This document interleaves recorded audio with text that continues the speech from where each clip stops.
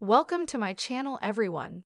Alaskan Bush People star Raiven Brown revealed why she went back to Texas.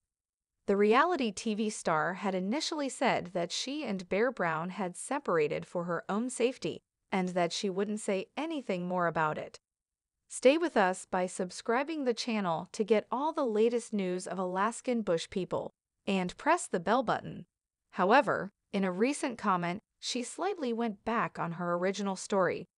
Earlier in December, Raiven Brown posted an Instagram Stories post that explained that she and Bear Brown had separated.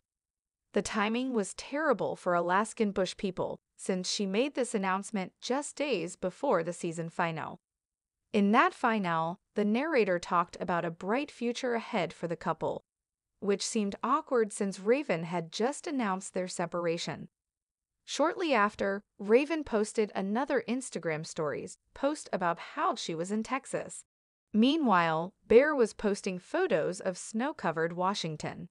It was clear that they were in different places, with Raiven also saying she was still on bed rest and was taking care of River at the same time.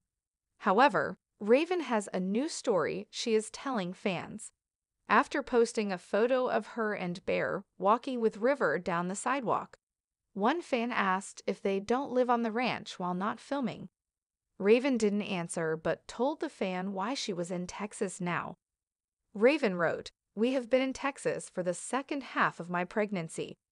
Bear's posts on his page clearly showed that he was still in Washington up until Christmas, but he did join her there around the holidays. She then said that it is dangerous with her pregnancy complications to be too far from a hospital. She said their home in Washington was three hours to and from during the winter. Raiven then said she went into contractions a few weeks ago, and it would have been bad if she was still in Washington. She then wrote, We made the choice to temporarily stay in Texas. It doesn't explain why she said that she and Bear separated, but it does explain why going to Texas was best for her safety. It has been a wild year for Raiven Brown and her marriage to Bear.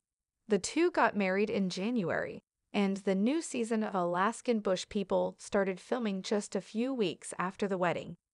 However, the show completely skipped March when Bear spent a weekend in jail for alleged spousal abuse. Bear ended up going back home, and Raiven ended up pregnant within a month. That story played out on the show as Bear began to work on building their home further up the mountain. Bear finally reached a plea agreement in his court case, and was on probation until December, when if he stayed out of trouble, all charges would be dropped.